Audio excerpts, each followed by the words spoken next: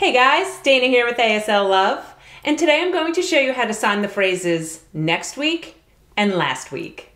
To sign next week, we're going to take the sign for week that I've showed you in a previous video, and we're going to add a forward and around movement to it. Next week. So you have the sign for week, but we're moving it around. Next week. A week from now.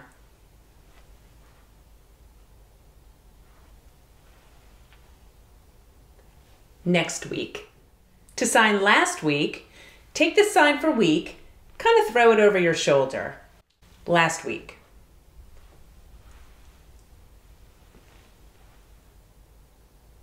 This past week, or a week ago.